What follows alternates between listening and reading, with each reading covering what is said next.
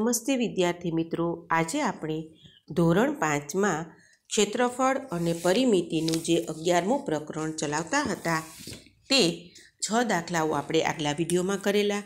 હવે સાતમા દાખલાથી આપણે આગળ ચાલુ કરશું. છ દાખલા સુધી આપણે તેમાં એની જે આકૃતિઓ આપેલી હોય છે એના ક્ષેત્રફળ શોધ્યા અને આલેખપત્ર ઉપર પણ જે આકૃતિઓ આપેલી હોય છે એની પરિમિતિ પણ આપણે શોધેલી છે. તો હવે તમને વિદ્યાર્થી મિત્રો, આ દાખલામાં, સાતમા દાખલામાં શું કહે છે કે, તમને અહીંયા અમુક આકૃતિઓ આપેલી છે. જુઓ છે એ બી સી ડી અને ઈ તો આવી કંઈક પાંચ આકૃતિઓ આપેલી છે. હવે એમાં તમને શું કહે છે કે, આ આકૃતિ ઉપરથીને તમારે અહીંયા આપેલા જે નવ પ્રશ્નો છે, એના તમારે જવાબ આપવાના છે. તો જુઓ, શું કહે છે કે આકૃતિ એની પરિમિતિ કેટલી છે? તો જુઓ કે એમાં આપણને ઊભા ખાના કેટલા છે? તો કે કે પાંચ છે, બરાબર? સોરી આડા ખાના કેટલા છે? પાંચ અને ઊભા ખાના કેટલા છે? ચાર. એટલે કે એની જે લંબાઈ છે એ પાંચ છે અને એની પહોળાઈ છે એ ચાર છે. તો આપણે એની પરિમિતિ કેવી રીતે મળે? પાંચ વત્તા ચાર વત્તા પાંચ વત્તા ચાર. એટલે કે પાંચને ચાર નવ નવને નવ, અઢાર. પાંચને ચાર નવ થાય, પાછા પાંચને ચાર કરો એટલે નવ. તો અઢાર છે એ આકૃતિ એની પરિમિતિ થાય. પછી આકૃતિ ડી તો ડી કઈ બાજુ છે? તો કે રહ્યું. બરાબર છે? અહીંયા આપણે ડી પાસે આવ્યા. તો આકૃતિ ડીની પરિમિતિ કેટલી છે? તો કે આડા ખાના કેટલા છે? ચાર. અને ઊભા ખાના કેટલા છે? ત્રણ. તો ચારને ત્રણ સાત, ચારને ત્રણ સાત સાત દુ ચૌદ. તો એવી રીતના ડીની પરિમિતિ આપણી ચૌદ થશે.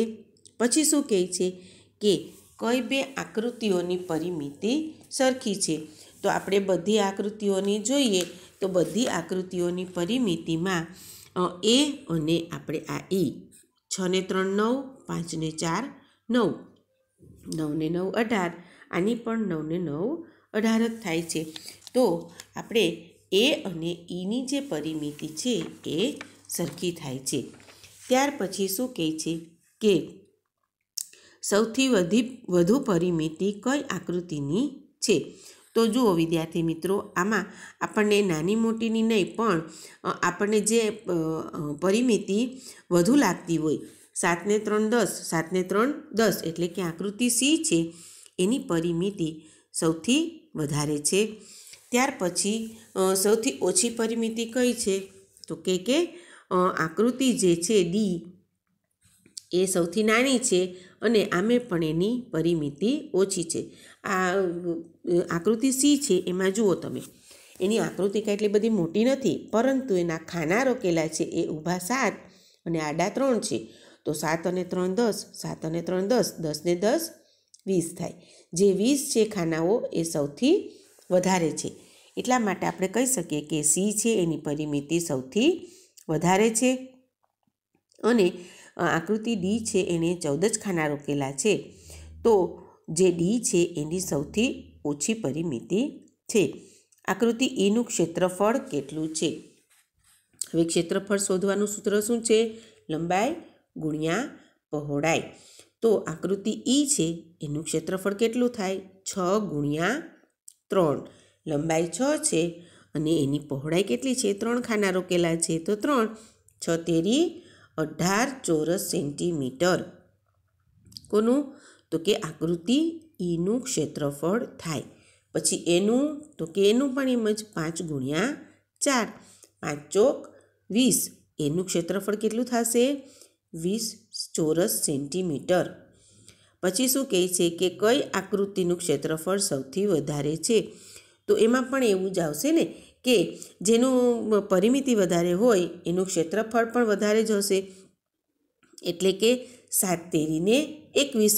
તો આકૃતિ સી છે એનું ક્ષેત્રફળ કેટલું થશે? સાત દુ ચૌદ સાત તેરી એકવીસ ચોરસ સેન્ટીમીટર. એટલે કે એનું ક્ષેત્રફળ પણ વધારે છે અને કઈ આકૃતિનું ક્ષેત્રફળ સૌથી ઓછું છે? તો કે ડીનું? કારણ કે એનો એરિયા કેટલો છે? નાનકડોક છે. તો ચાર તેરીને બાર. એટલે કે આકૃતિ ડીનું ક્ષેત્રફળ કેટલું થશે? બાર ચોરસ સેન્ટીમીટર. એટલે કે એમાં આપણે તો એમ લખવાનું છે કે આકૃતિ ડીનું ક્ષેત્રફળ સૌથી ઓછું થશે. ત્યાર પછી વિદ્યાર્થી મિત્રો જુઓ, તમને અહીંયા કંઈક ટિકિટો આપેલી છે. અલગ અલગ પ્રકારની ટિકિટો છે. એ ટિકિટોનું આપણે ક્ષેત્રફળ અને પરિમિતિ બંને શોધવાના છે. તો જુઓ, એમાં શું કહે છે? એકમાં એ, પહેલાં તો એક ટિકિટ આપેલી છે, એની આપણે પેલી એ આ ટિકિટ છે, એની પરિમિતિ શોધવાની છે અને એનું ક્ષેત્રફળ પણ શોધવાનું જ છે. તો એમાં શું કહે છે? પાંચ આડા છે અને ત્રણ ઊભા ખાના છે. તો પાંચ, ત્રણ પાંચ, ત્રણ. એમ ત્રણ, ચારેયનો સરવાળો કરીએ તો આપણને શું મળે એની? પરિમિતિ મળે. તો પાંચને ત્રણ આઠ, આઠને આઠ સોળ, એટલે કે એની પરિમિતિ સોળ થશે. પણ એનું ક્ષેત્રફળ ક્યારે મળશે? આપણે પાંચ ગુણ્યા ત્રણ કરીએ એટલે. તો કે પાંચ તેરી પંદર એનું જે છે, પાંચ તેરી પંદર ચોરસ સેન્ટીમીટર. એક વિદ્યાર્થી મિત્રો, આ ધ્યાન રાખજો કે હંમેશા ક્ષેત્રફળ છે એ ચોરસ સેન્ટીમીટરમાં જ આવે છે. જ્યારે પરિમિતિ છે એ સેન્ટીમીટરમાં હોય છે, પણ ક્ષેત્રફળ છે એ ચોરસ સેન્ટીમીટર અથવા તો મીટર ગમે તે તમને આપ્યા હોય, પણ ચોરસમાં લખવાનું, બરાબર છે? તો આમાં આપણને સેન્ટીમીટર આપેલા છે, કારણ કે માપ જ એક સેન્ટીમીટરનું છે કેનું? આલેખપત્રના ખાનાઓનું. બરાબર? એટલે આપણે અહીંયા સેન્ટીમીટર લેશું. પણ જો એની પરિમિતિ મીટરમાં કે કિલોમીટરમાં કે આપેલી હોય તો આપણે એ પ્રમાણે લેવાનું છે એની પરિમિતિ અને એનું ક્ષેત્રફળ. તો પછી આપણે બીમાં જોઈએ. તો બીનું શું છે? આડા ખાના ચાર છે અને ઊભા કેટલા છે? પાંચ. જુઓ, અહીંયા હું તમને કરીને બતાવું કે આડા ખાના છે એ અહીંયા ચાર છે અને ઊભા છે એ પાંચ છે. તો પાંચ વત્તા ચાર વત્તા પાંચ વત્તા ચાર. એટલે કે નવને નવ, અઢાર સેન્ટીમીટર શું થશે એની પરિમિતિ. પરંતુ આપણે શું કરવાનું છે હવે એનું? ક્ષેત્રફળ લેવાનું છે, જે અહીંયા આપણને પાંચ ગુણ્યા ચાર એટલે કે વીસ ચોરસ સેન્ટીમીટર મળે. ત્યાર પછી આપણે આકૃતિ સીની વાત કરીએ, તો એ કેવો આકાર છે? ચોરસ. તો એની ચારે બાજુઓનો સરવાળો કેવો હોય? સરખો હોય. એટલે કે ત્રણ વત્તા ત્રણ વત્તા ત્રણ વત્તા ત્રણ. બધી બાજુઓ ત્રણ ખાના રોકેલા છે. તો ચાર તેરી બાર. બાર જે છે એની પરિમિતિ છે અને ત્રણ ગુણ્યા ત્રણ. એટલે કે નવ જે છે એ એનું શું છે? ક્ષેત્રફળ છે. બરાબર? હવે આપણે આકૃતિ નંબર ડી. ડી આપેલો છે ને અહીંયા? જુઓ. ડી છે, એની જે છે ખાના કેટલા રોકેલા છે? આડા. તો કે સાત. અને ઊભા ત્રણ એટલે એની જે છે પરિમિતિ એ સાત અને ત્રણ. સાત અને ત્રણ એટલે કે સાતને ત્રણ દસ સાતને ત્રણ દસ એટલે કે વીસ. તો એની પરિમિતિ કેટલી આવશે? વીસ આવશે. અને ત્યાર પછી એનું ક્ષેત્રફળ આપણે જોઈએ તો સાત ગુણ્યા ત્રણ. કારણ કે ક્ષેત્રફળ બરાબર શું થાય? મેં તમને હમણાં જ કીધું, લંબાઈ ગુણ્યા પહોળાઈ. તો સાતને ત્રણ એકવીસ. બરાબર છે? તો આકૃતિ જે આપણી ડી છે, એનું ક્ષેત્રફળ અને પરિમિતિ અનુક્રમે વીસ અને એકવીસ મળશે આપણને. ત્યાર પછી આપણે વાત કરીએ ઈની તો જુઓ, એના આડા ખાના ચાર છે અને ઊભા કેટલા છે? ત્રણ. તો ચાર વત્તા ત્રણ, ચાર વત્તા ત્રણ. એટલે કે સાત ને સાત, ચૌદ. એટલે કે ઈની જે પરિમિતિ છે, એ આપણને ચૌદ મળશે અને એનું ચાર ગુણ્યા ત્રણ, ચાર તેરીને બાર. એનું આપણને ક્ષેત્રફળ મળશે. બરાબર છે વિદ્યાર્થી મિત્રો? ત્યાર પછી હવે આપણે રહી અહીંયા. આ જે છેલ્લી આકૃતિ છે, એ જ એક રહી છે, જે અહીંયા આપણને આપેલી છે. એફ. તો એના આડા ખાના છે પાંચ છે અને ઊભા ચાર છે. એટલે કે પાંચ વત્તા ચાર, પાંચ વત્તા ચાર. નવ થાય, નવ દુને અઢાર. પાંચને ચાર નવ અને પાછા પાંચને ચાર નવ એટલે નવ દુ અઢાર. અઢાર જે છે એની પરિમિતિ થશે અને પાંચ ગુણ્યા ચાર કરો તો વીસ છે એ એનું અહીંયા ક્ષેત્રફળ આપણને મળે છે. તો આ થયું. આપેલી ટિકિટો જે છે એનું ક્ષેત્રફળ અને પરિમિતિનું માપ. હવે આગળ આપણને કંઈક નવમા દાખલામાં એવું કીધેલું છે કે નીચે આપેલા જમીનના ટુકડાને જુઓ, આ બંનેમાં એક જ સરખું કરવાનું છે છે. આ બંને છે, એક અને બે, એ એના જ ભાગ છે. તો એમાં એમ કહે છે કે નીચે આપેલા જમીનના ટુકડાને એવા ત્રણ સરખા ભાગમાં વહેંચો કે જેથી દરેક ભાગમાં એક વૃક્ષ આવે તથા દરેક ભાગમાં અલગ અલગ રંગ પૂરો તો જુઓ વિદ્યાર્થી મિત્રો, આ જે તમને અહીંયા આકૃતિ આપેલી છે.